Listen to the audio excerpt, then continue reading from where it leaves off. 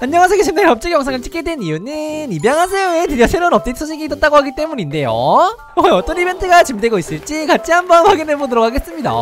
그럼 바로 시작해 보도록 하죠. 출발!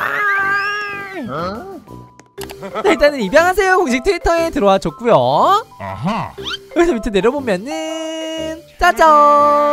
어, 네온 사양소다 어, 이제 겨울 이벤트가 끝나겠구나! 어, 여러분들 아이템은 다 구매하셨나요?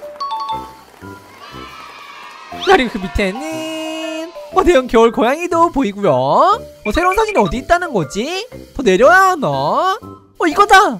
짜잔! 어, 바로 이 사진이 새로 올라온 업데이트에 대한 사진이라고 하는데요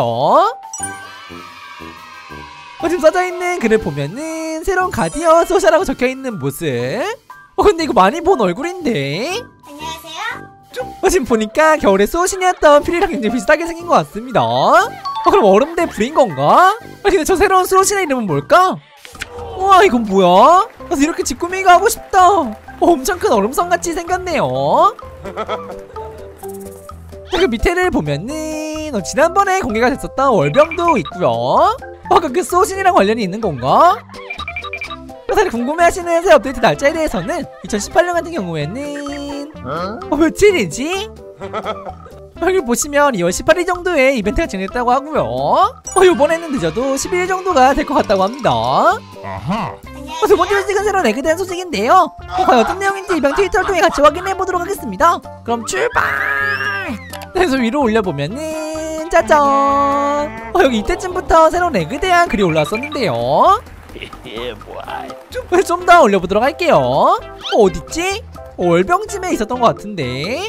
어 여기 있다. 짜잔. 어, 이런 식으로 새로운 egg에 대한 힌트가 공개된 적이 있죠. 어, 그 밑에는 이런 식으로 새로운 egg로 뭐가 좋을지에 대한 투표도 진행됐었는데요. 어, 인기투표 1위 egg를 살펴보면은 50% 이상의 큰 점수로 ocean egg를 뽑아주신 모습.